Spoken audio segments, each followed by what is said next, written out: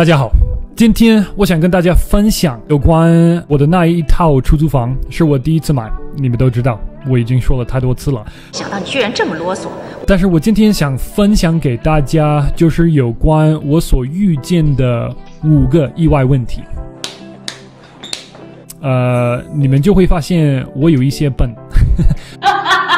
但是我觉得这个过程就是一个学习的过程，所以我不觉得我应该隐藏这些事情。我就是想跟大家分享一下，你们可以知道我真实的这个过程。首先有一个我觉得特别特别难受，就是装修的问题。原来我认为，因为这个房子有六间三卫，我就觉得我可以把这个房子分成两个房子，变成一个双拼别墅。但是这只是我个人的想法。然后我录用了一个 general contractor 的时候，我问他这个问题：“你觉得这个可行吗？”他说：“啊，可以，没问题啊，你就需要做这个做那个。”所以我就听他的，然后就开始去做，我就付了那个钱，大概是呃我花装修的费用的一半，所以大概一万美元啊，花了这么多钱。今天这事儿就是花钱，所以他开始弄，呃，让我可以有一个双拼别墅。第一，他他就弄了一些电力，屋内电力，他改了一些。如果他调整那个屋内电力的话，呃，这个房子可以变成一个双拼别墅。另外呢，我们就建了一个墙，这两层完全的分开，所以一个家庭可以住在第二楼，然后一个家庭。可以住在第一楼，他们完全是分开的。啊，聪明！但是问题来了，他不是一个专业的建筑师。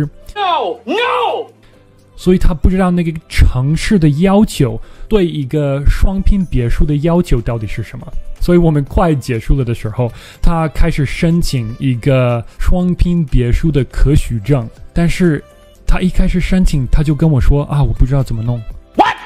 然后我开始想。你不知道怎么申请一个许可证吗？这不就是很简单吗？哦，就这么简单的。弄完一个双拼别墅比起来的话，应该更简单多了。有时就这么简单。你就跟那个城市聊天一下，然后如果他们让你改一改什么东西，你就改一下。所以我就开始怀疑自己的选择。我在想，哎呀，这个这个 general contractor 他。到底知不知道他在做什么？搞什么？快说，到底在搞什么？幸亏我没有花更多的钱，因为我录用了一个建筑师，一个专业的人来到我的房子。我问他：“这是可行的吗？我真的可以把这个一家庭的房子变成弄成一个双拼别墅吗？”然后他就开始列出很多的，这是一个不太好的想法的原因。他就列出了很多的原因，呃，然后我就我心里特别难受。我想，我为什么没有早找你呢？但是在这个过程当中，我学会了一件事情，我学到了，不知道有没有学会，但是我学到了一件事情：我在投资的时候，我不应该选择最便宜的道路，最快的路基本上是不正确的路。对他跟我说这一点的时候，我就我就说好，好，我花了那个钱，我不能要回来，没了，完了，不可以，我就继续的往前走，所以我就换了我的想法。啊，好，这个房子这六间三卫的房子就给一个家庭来住，幸亏呃我有我有一些嗯调整的空间，所以。还是一个好的一个投资方式，但是没有那么好。如果我能够把它变成一个，呃，双拼别墅，就能更多的钱，但是没有关系。这是我第一碰到的意外问题。第二呢，就是游泳池的问题。呃，我一买到这个房子，游泳池就开始有问题了。因为我们在德州夏天特别特别热嘛，所以很难很难让那个游泳池坚持的干净。所以我一买到，大概过了一个星期之后，这个泳池就变绿色的，特别绿色，特别有很多的那种很脏的。然后我就不知道该怎么办。我从来没有拥有过一个只有一个游泳池的房子，开始联系那个游泳池呃管理人，呃，他们可以帮我呃处理这个问题，但是他们没有回复我，我觉得太烦了。烦死了！我让他们来修这个这个游泳池好几次，他们没有修好了，一直一直是那个绿色的，所以到这个时候我已经把房子放在市场上，所以已经有人开始来看那个房子，想一想他们要不要在那里那里住，然后他们一看到一个绿色的游泳池，你觉得他们想不想住？不想住。所以，我我大概花了一个月的时间来让这个这个公司来维修、修好我的这个游泳池，嗯，把它把它变得干净。最后，我就不用他们了，我就换了公司，呃，让别的公司呃来呃修好这个游泳池。终于，现在啊，这个游泳池呃蓝色的，是特别漂亮的。但是但是因为我用了别的公司，换了公司就好了。哎呀，哎呀，哎呀！我没想到会会出这样的问题。第三呢，呃，这个特别搞笑。我邻居在我房子的右边，他们很喜欢玩高尔夫球。我新买的这个出租房的右边，他们就喜欢玩。他们有一个 net，然后他们可以呃打那个球打进去那个 net，然后就很安全嘛。但是问题。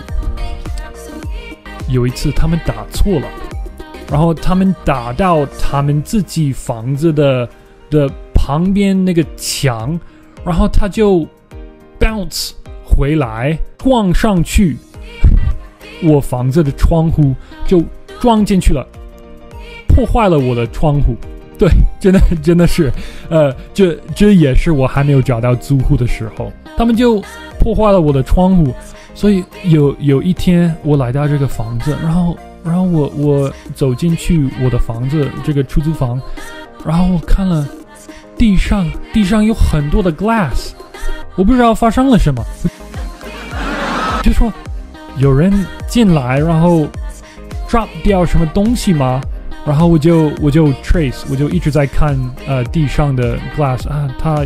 它的根源来自哪里？然后我终于找到了这个窗户，然后我说啊，傻呀，怎么发生的？我没有看到除了 glass 以外，地上没有什么东西。然后终于我我看到了，在在房间的另外的一边，我看到了有一个高尔夫球。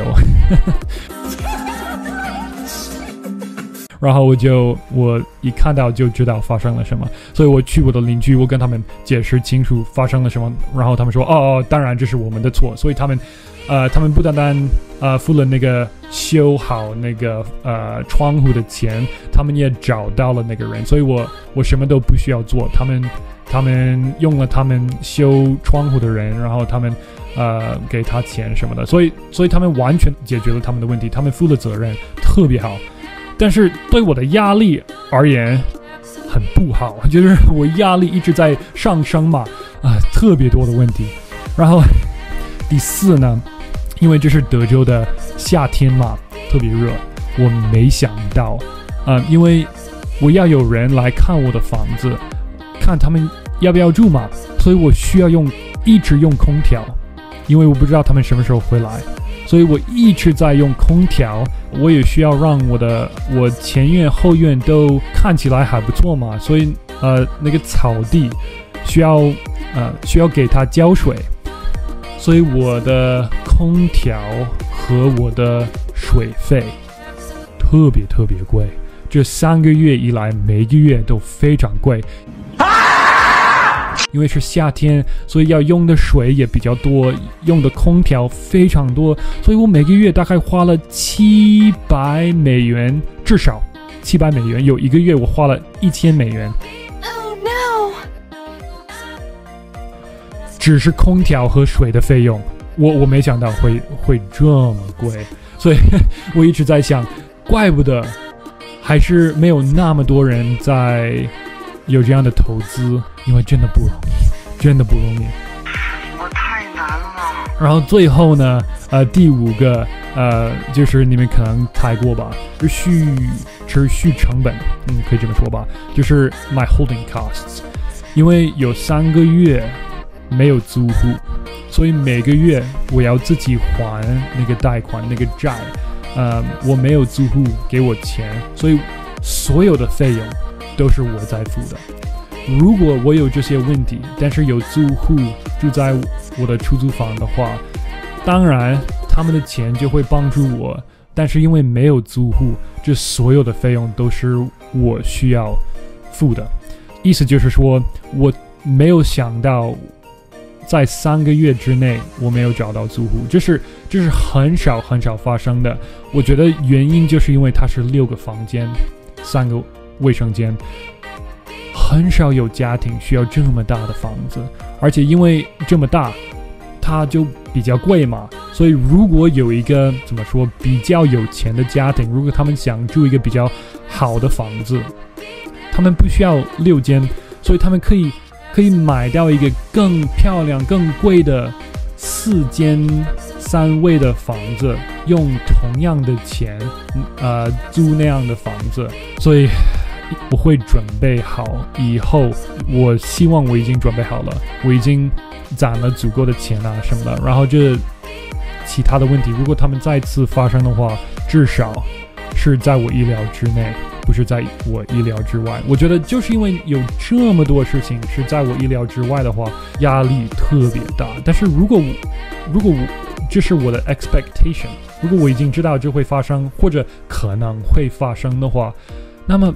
我觉得压力不会那么大，但是因为这都是完全新的事情，我从来没有做过这样的事情，这是我第一次在呃房产市场上投资，所以我不知道有很多很多我不知道的事情，所以你们看了，我真的有点笨，笨蛋。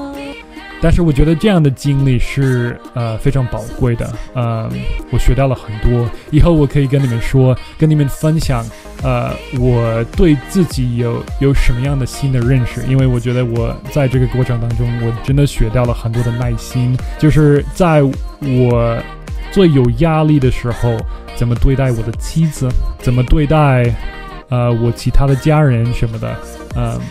我觉得就是你最有压力的时候，你怎么对待其他人，呃，这就告诉你你到底是什么样的人。然后我发现，我以为我是个比较好的人，实际上我发现，在一切都很顺利的时候，我可以装我是个好人。